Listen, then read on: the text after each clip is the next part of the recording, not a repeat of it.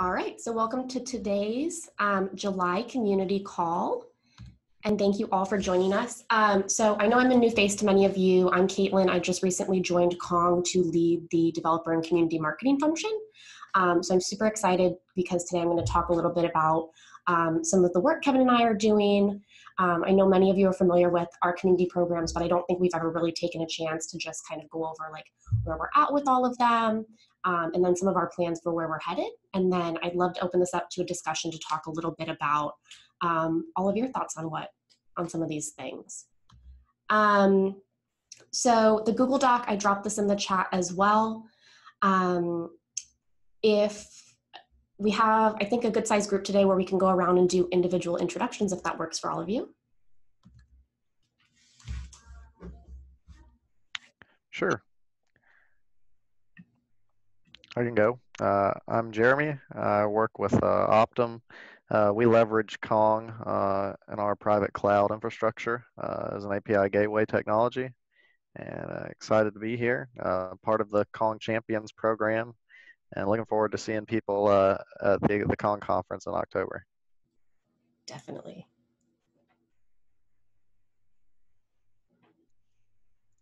I can, I, I can go if you guys can hear me. I'm not sure because I'm on the train right now. So uh, let's see. Can you guys hear me? Yeah.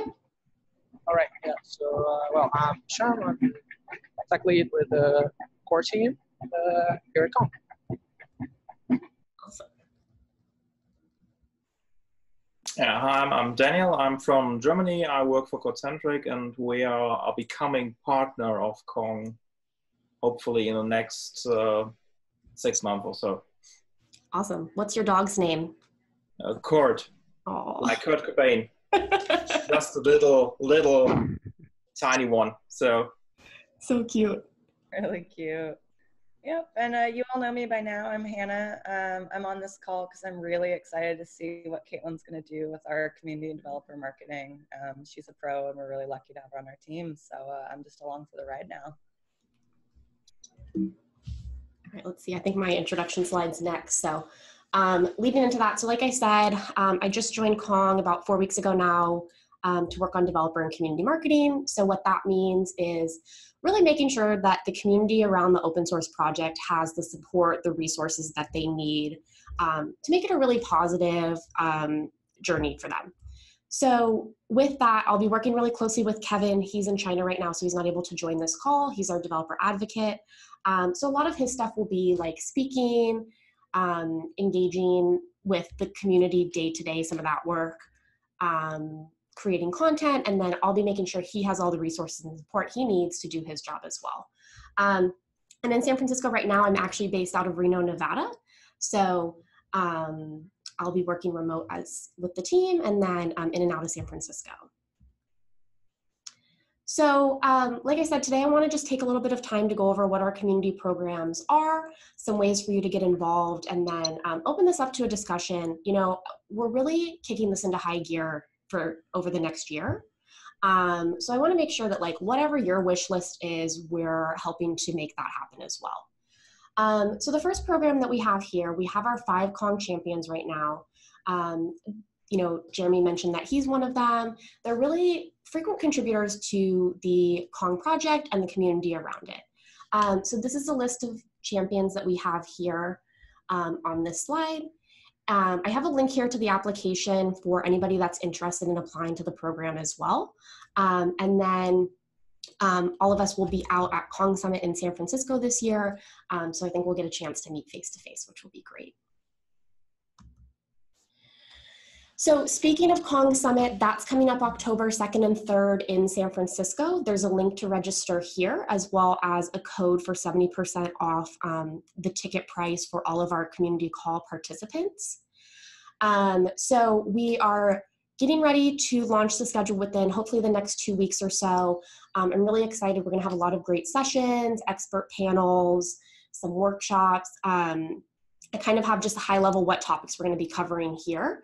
Um, and then, like I said, we're hard at work finishing out the schedule, so we'll be announcing that in the coming weeks. Just to jump in there really quickly, Caitlin, um, the Kong Summit is uh, a pretty wide range of folks this year. It's community members and users, it's uh, some customers, some partners.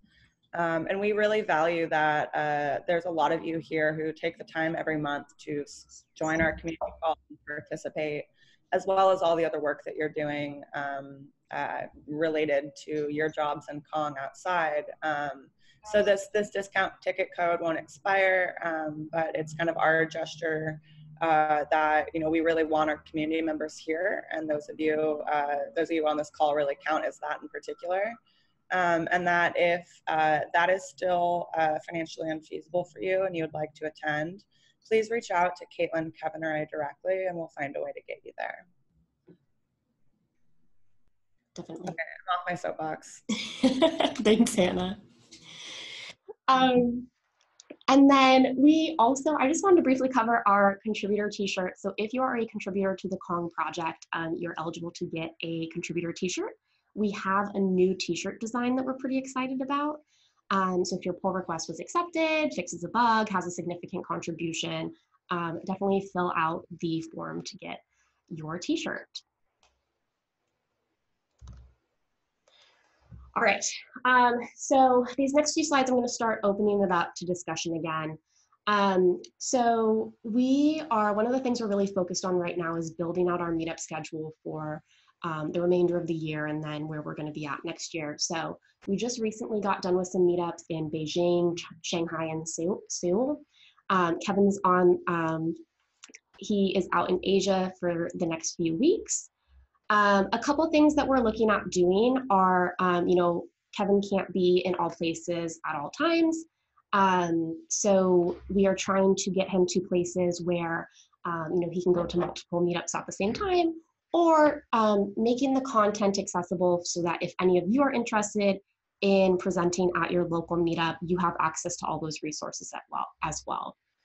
Um, but just wanted to see if, you know, uh, you know, where you'd like to see us in the the coming year, um, or if you know you're running any of your own local meetups, all of that.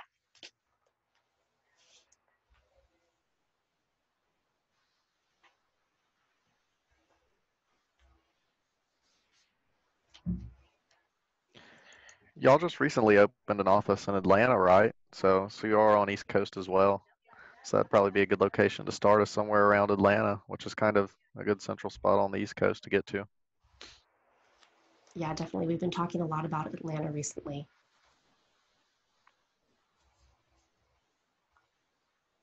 I know for you Midwest folks, uh, we recently did one in Cincinnati. Um, and so, uh, yeah, these, these meetups could be kind of anywhere in the world as long as there's someone who's interested in, in, in helping us run them. Oh, I think us in Minnesota don't consider Cincinnati the Midwest, though. Oh, okay, what is it considered? Great Lakes region? Minneapolis would be great. Okay. I, I know that. So Optum. I mean, Jeremy's on the on the East Coast, but uh, we have a, our headquarters are here in Minneapolis. All right. Well, officially withdrawn about the Midwest comment then.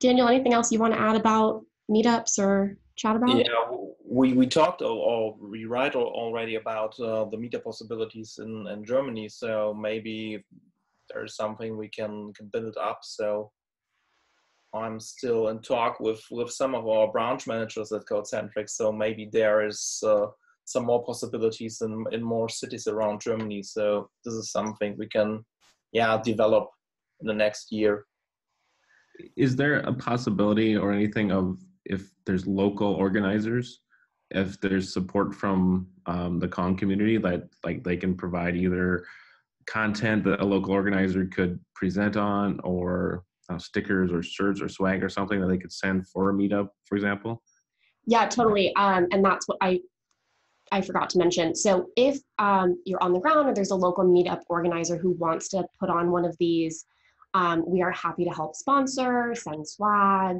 um, content for the presentation, anything like that as well.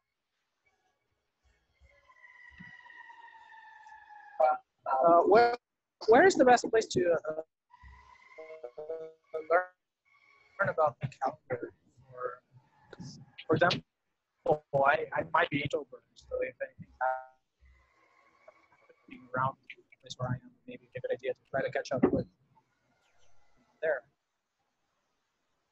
Sorry, I'm having a little trouble hearing you, but I think you were asking about like the calendar for where you could see these events.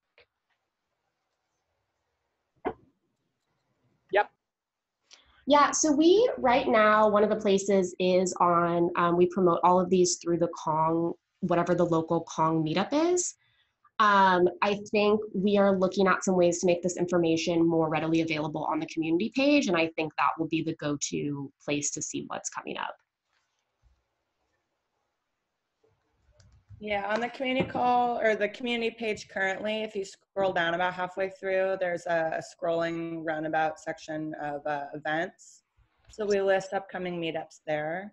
Um, we also tend to post them on, um, I want to say Kong Nation and possibly even Gitter, uh, as well as um, if there's one local to the area, we send out an email in advance to anyone who kind of fits our our regional uh, criteria there in the database. Like your location is Germany, we'll send you something in Germany. Yes. Awesome. Any other thoughts on meetups? All right, no. Um, and then one other thing I wanted to mention in this call is that we are looking at releasing multi-language support for plugin development. So um, basically, this would mean that you could interact with the plugins in your you know, programming language of choice. So we're aiming to release the first one at Kong Summit. We're going to start with Go. Um, but curious what languages y'all are using um, that you would like to see this available in.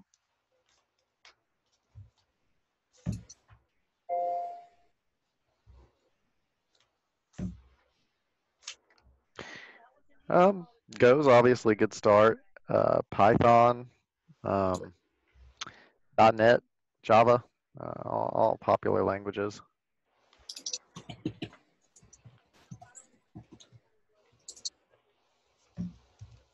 Aaron would Yeah. probably say Kotlin.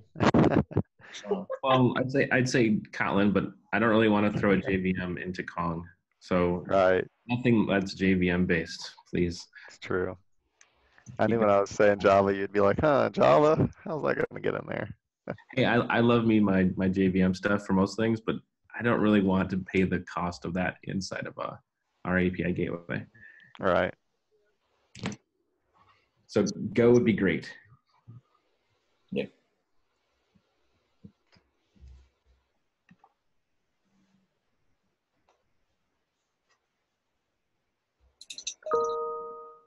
All right. Um, well, yeah, if there's some, you know, anything we didn't cover here that you think of further down the line, let us know as we start building this out. Um, but definitely look forward to that coming at Kong Summit. Um, so like I said, I just, you know, want to talk a little bit about, you know, what we're doing going forward. So a lot of what we're focused on now is just building out resources and content, like I said, to make it really easy to get started with Kong, um, making sure that you all have the resources that you need. Um, so I kind of want to talk a little bit about like what topics you'd like us to cover. Um, you know, we can do videos, blogs, webinars. Um, you know, is there anything specific, specific pain points maybe as you were getting started or as you're working with Kong where you'd like to see us cover that type of content?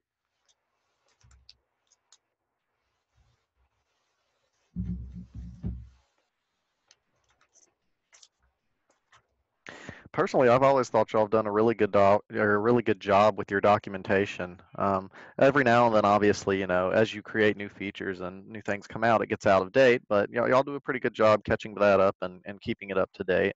Uh, one thing I would say there probably isn't a whole lot on is uh, like links out to interactive, uh, you know, applications to kind of test stuff in a sandbox or um, maybe some video demonstrations as well on the main website. I'm sure could be helpful to some people. Mm-hmm. But but the documentation is also very solid, so uh, definitely tip my hat on that.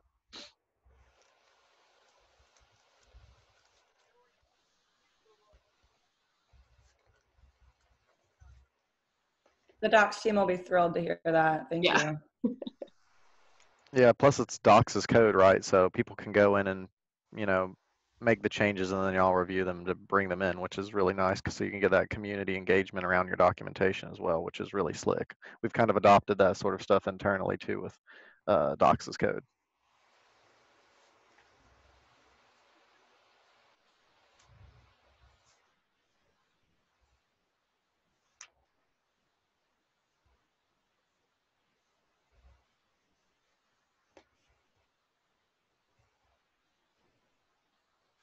What about like information for how, um, like when a new release comes out, how that information is communicated to you?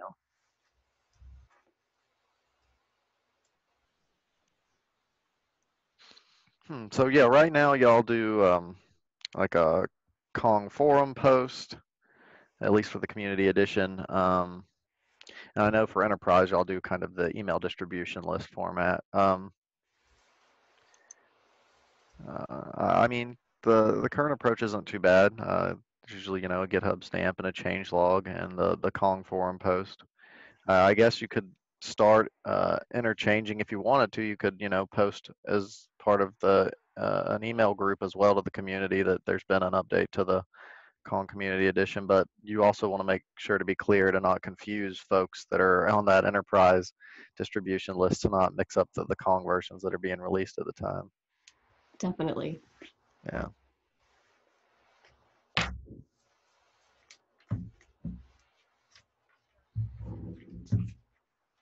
I mean, y'all have Facebook or Twitter or things like that, social media. You could also announce new releases on on those platforms as well. I think y'all have a Twitter.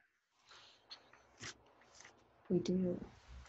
We do, yeah. We tend to post there as well. Um, but if you're not seeing that, then uh, maybe we can uh, bump that post, and I'll uh, let our social media manager know about that. Thank you, Jeremy. uh, no, I'm I'm not on Twitter, but yeah, it's a good idea. All right, I do remember that. We tried to find you one time. Old school Facebook. That's about it.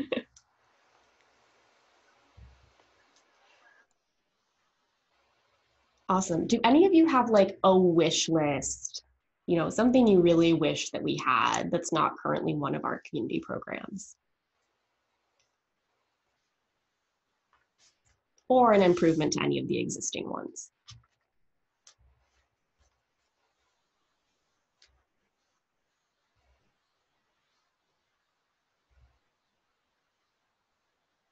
Can be anything. I'll take even like crazy suggestions.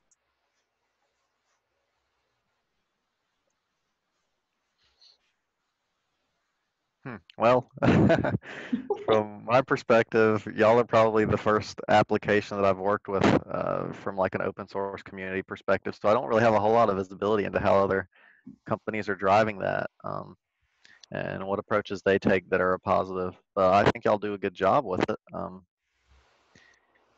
I'm not sure if Aaron, Aaron has any uh, community engagements he's worked with with other companies before uh, or other applications before that he knows how they drive things.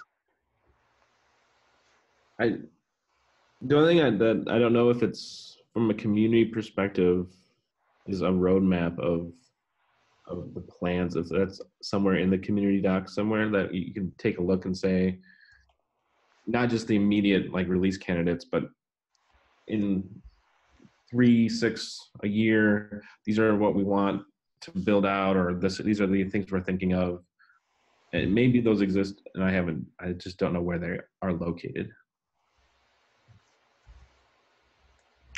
Yeah, that's true. Publicizing the future roadmap probably is a really good positive. Um, I know I've seen uh, uh, uh, uh, slide deck uh, that he has presented on, I think, in Japan, where he talks about kind of the future of some of the stuff Kong's working on. But um, I haven't actually seen it publicized on uh, like Kong HQ or, or in the GitHub repo itself for the future roadmap. So maybe that would be a good idea. Yeah.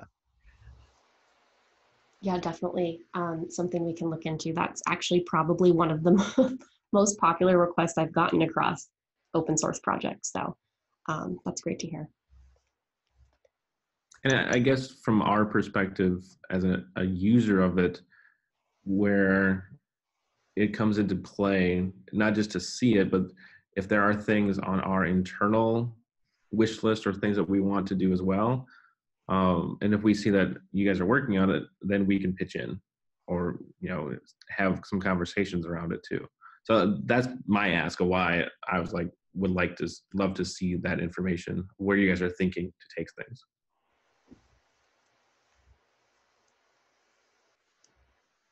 Yeah, that sounds great. I, you know, I was thinking more of like building towards what's on the roadmap, but I think that would be a great way to get people involved if, if they see what's coming.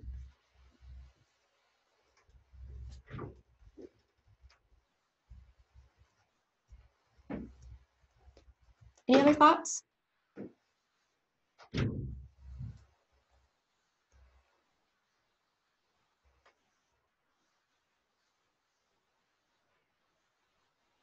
All right, well, like I said, this is, you know, kind of my biggest priority right now. So if there's anything that comes up, um, open line of communication uh, for any feedback, ideas, anything like that. Um, and that was pretty much, let me see if there's any other topics here.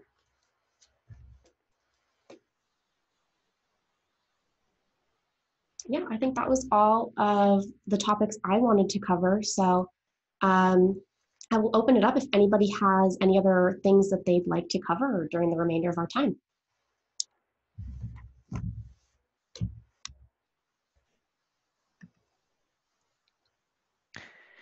Um, I was just going to give a shout out. Um, really wanted to thank y'all for uh, some of the efforts uh, we had recently with you around a Keepalive issue we had.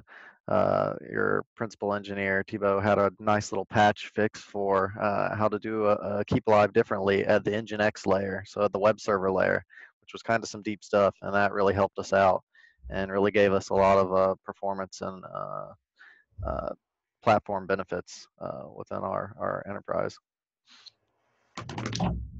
Yeah, awesome, man. Uh, nice to hear. Uh, so yeah, so like uh, we were saying on the issues, we we ship those. Uh, we ship the patch with Kong 1.3 probably, and Nginx 1. Uh, OpenResty 1.17. Uh, so yeah, awesome. So that's that's yeah, no, really good news. Yeah, yeah, really appreciate it, man. Thank you. Sure, no worries. Yeah, You're welcome. And again, like thanks Trevor for had- testing it too. It looks like Trevor had a follow-up question. Uh, he says, the harder question, is there an ETA on a Kong 1.3? And also about the enterprise version. Uh, he's with WeWork, so they're enterprise customers.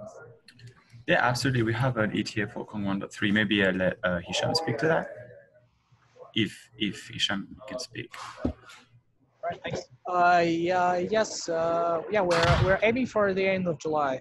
So uh, yeah, with uh, our, our RC before that. And so, like we like we said in the previous uh, community calls, one of the three comes with the gRPC support, right? So that's uh, the main um, main addition to it, plus uh, OpenResty 115.8, uh, as well as a header by a routing by arbitrary request headers too. Those are topics we covered, I think, in uh, like a couple of community calls ago, maybe um, maybe a month ago, two months ago.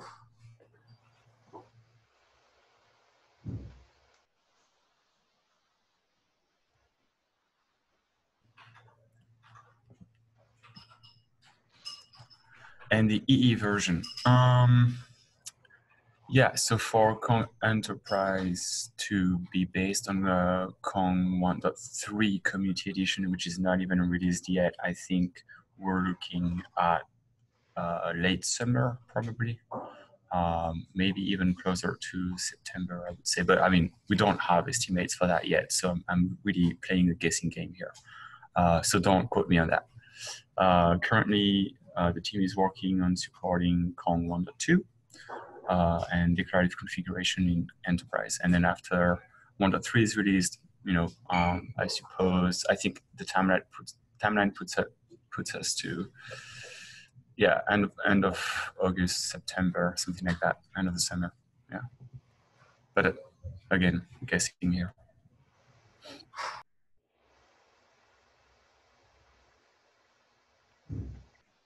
Is gRPC support at the layer seven layer yet, or is that still um, layer four for now and 1.3? No, uh, layer seven in uh, Okay. one to three. Yep, yep. We're um, we're talking about um, you know being able to uh, to apply plugins to uh, to gRPC um, uh, transactions and eventually even you know being able to read parts of the gRPC message, etc. So it's ongoing right now. Very cool. Yeah.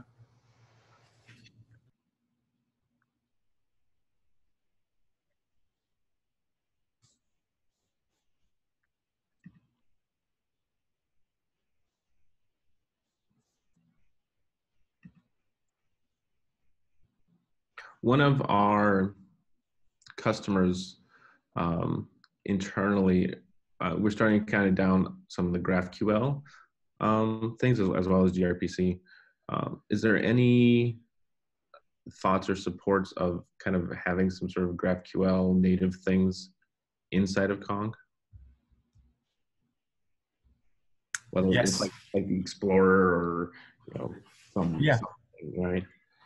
Yeah, that it is also a protocol that we um, are planning on supporting eventually. Uh, I think we haven't quite yet decided the path forward for it, but uh, I can also let Hisham speak to that as well, because if I remember correctly, one of his uh, company hackathon projects was actually supporting GraphQL inside of Kong. But I think it was more on the admin API side, if I remember correctly.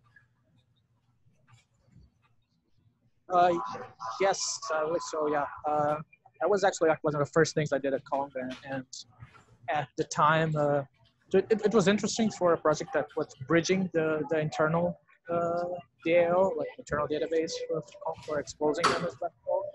So at the time, that was like two years ago, and the state of Lua libraries for that was not quite there yet. But uh, yeah, we'll have to see uh, how the things are going uh, right now with our support for, for GraphQL. But even then, we could could always bridge libraries with you know, other languages and move that forward. Uh, yeah, that, that's definitely something that's that's doable. There's nothing fundamental that would prevent us from supporting it. So yes, it's a matter of just deciding exactly how and when.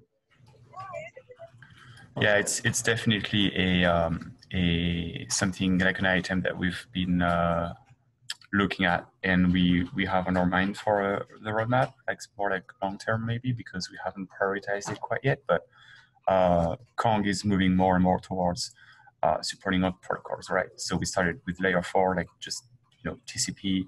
Uh, we move into UDP eventually. We have gRPC in 1.3, and then GraphQL is another one that is on our list uh, for sure. Um, but we don't have a timeline yet. Um, we we are maybe we can talk a little bit about upcoming CE releases. So after 1.3, with the you know the new features that we talked about, we're looking at 1.4 uh, later this summer as well, where uh, we're planning on uh, sort of uh, doing a consolidation release with um, uh, you know uh, bug fixes, improvements, any sort of usability and performance improvements we can make. Um, so we, we have uh, a few of those uh, in our backlog, uh, especially some, some improvements regarding um, uh, caching and uh, uh, some improvements regarding um, the DAO itself. Um, and after that, we're looking at 1.5, which will, again, be an alternative release, so focused on new features again.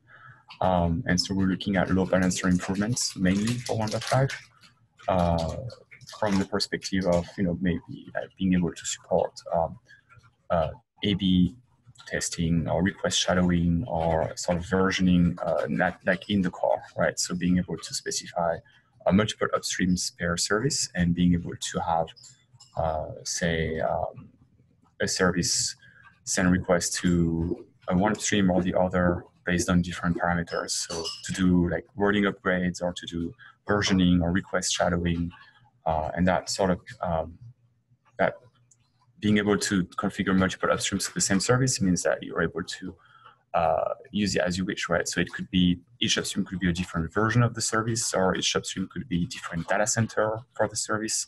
So you try the local data center copy of the service first. Uh, so that's that's the sort of improvements we're looking at for 1.5. Again, um, timeline would be at this point would be late summer, September, uh, something like that.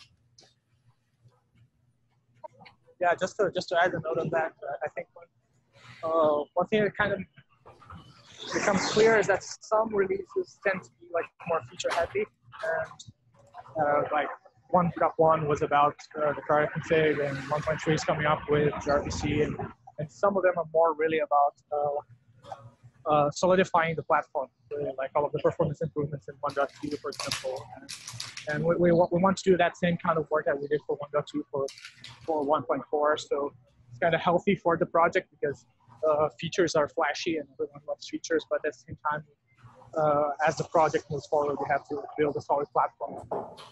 Actually taking the time to do that kind of work in some releases and focusing on well also very healthy project. Yeah, absolutely. Ooh, and one thing that I think we left out for now of um, were uh, two things that I think are worth mentioning, especially given um, users we have on the call right now, is uh, mutual TLS capabilities, uh, shipping in um, upcoming releases of Kong. So sort of um, what, what we're talking about here is the ability for Kong to, uh, first of all, verify a client certificate when uh, it is uh, when we're receiving a client connection, um, and being able to do that dynamically via the PDK. And as well as setting a client certificate when opening a connection upstream via the PDK as well. So those are improvements that we're looking at shipping in, in Kong 1.3, especially the upstream, the upstream part, uh, which is uh, um, coming soon into the shape of a PR. And um, we'll also eventually be looking at mutual TLS against uh, Postgres and Cassandra and other forms of uh, connections that Kong opens.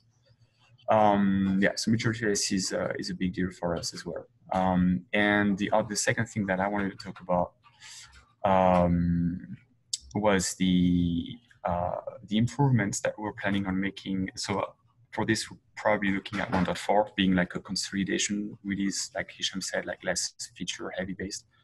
Um, so Nginx configuration improvements in the sense that we want to, you know, hide uh, and avoid the pattern of creating custom Nginx templates over and over again, which we think is sort of a, a, a heavy task for users to to to do and to have to upgrade this template as they upgrade Kong version, etc. So we're looking at in like new ways of configuring uh, Nginx via the Kong configuration file that uh, injects directive, um, which is something that um, Harry has been working on. Harry, who's in the call right now, uh, since 1.1, I believe. Um, and we've sort of uh, moved towards a pattern where we want to to um, rely on defaulted Nginx injected directives um, instead of having to say copy the whole Nginx template and configure SSL protocols that you want to enable. You can just edit one property in the config file, um, which is which maps to Nginx and an Nginx directive, and we'll add uh, hook points into the Nginx configuration file as well, uh, like with include directives, and you'll just be able to dump a whole uh, Nginx sub configuration file if you want to. Um, if you have like say like more servers that you want to run inside of Kong, more Nginx server blocks or, or, or things like that. So so those are other improvements that we're looking at uh, at making, um, which you know for everyday users of Kong make a big difference. We believe. Not quite as shiny as gRPC support, but yeah.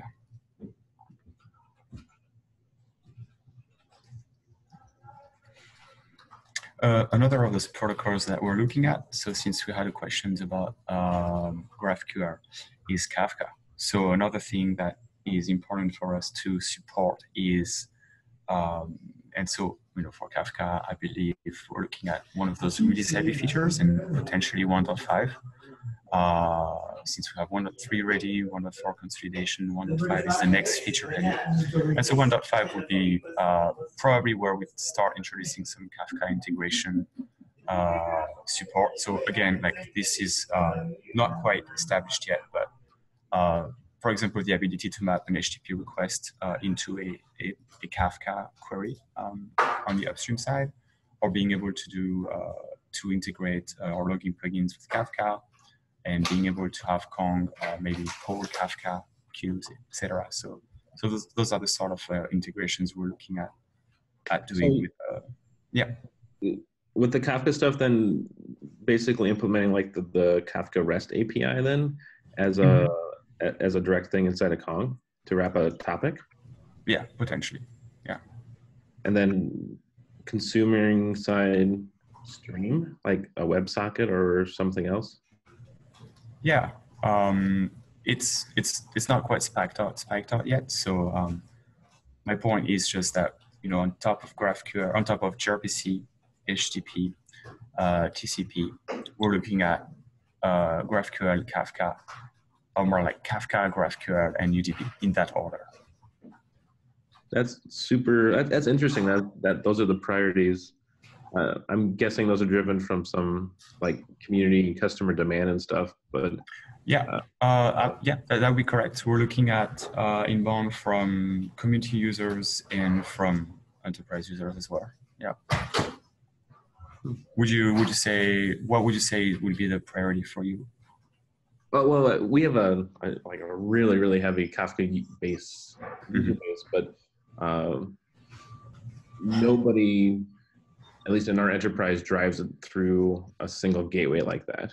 It's it's, it's never even a thought or a, a request of us as the owners of the gateway to like drive a, a Kafka topic behind it. It's just more been like the, a team, the Kafka admin team has set up the Kafka REST APIs Right. that are there if the team wants to do it because it's easy enough. It's provided by Confluent already. Mhm. So I it's just think- it's, it's interesting to, to hear that other that people and and and Kong is prioritizing that kind of stuff. So, Yeah, yeah, we've had we've had actually yeah a bunch of inbound requests for it, but I think it's also important to maybe see Kong not necessarily as just an API gateway and not just necessarily as a gateway sitting uh, at the edge, right? But uh, eventually, uh, a as as part of the service mesh offering or as you know as an independent like uh, event-based gateway as well. Yep, no, I, I totally see that. that- That's where you guys are going and want to get into that market, and that's a it's definitely a wild wild west at the moment with the players that are in that service mesh market. So it's wide open for a lot of things, um, which I assume is kind of why you're doing the gRPC as well, because we don't really have interest in gRPC on the edge, but we have more interest in gRPC inside of a service mesh kind of thing. Yeah, yeah. We've had we've heard both use cases, but the latter most often. I would- I would agree. Yeah. yeah, yeah. I mean, I think that's uh, that's about it for like upcoming releases in a in a nutshell. So uh, you know, if anybody else has any questions, I don't want to. I, I would say my only other ask is we're driving a lot of our um, all of our APIs with Open API specification uh, 3.0. Um, I know that there's some there's a lot of enterprise kind of support around that, and I don't know if there's any thoughts on opening any of that into community or not.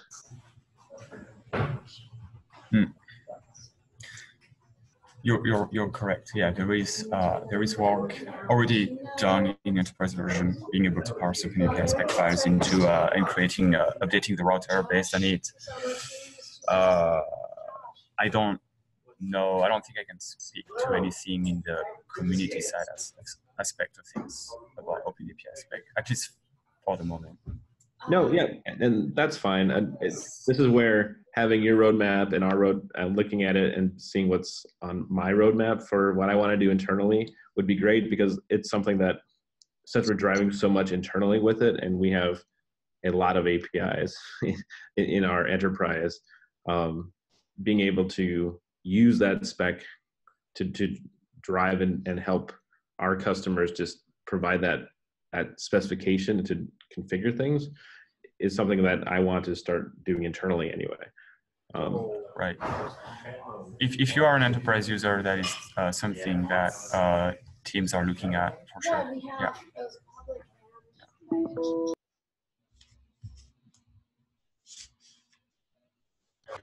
But for community, again, I, I think uh, for now, I, I don't I don't think I can speak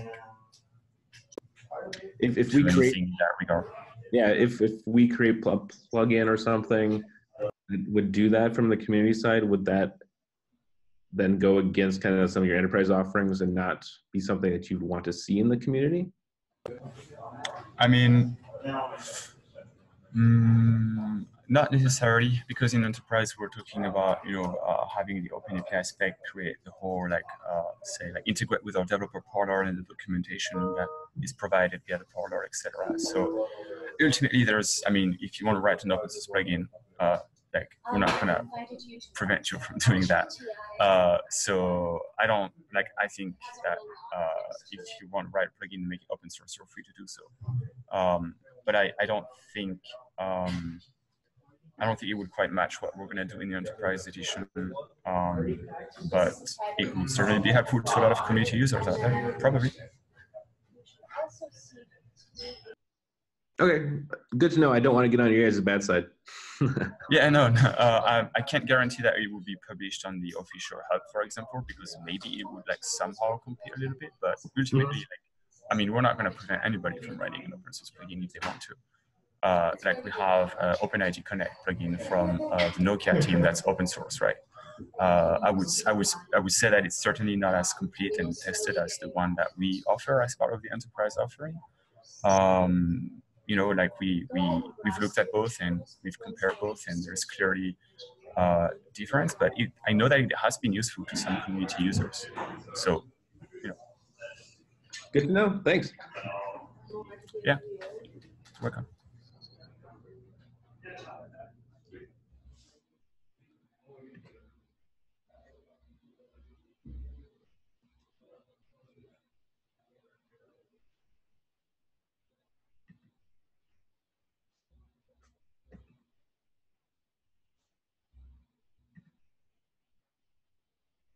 All right, any other questions or topics y'all want to cover?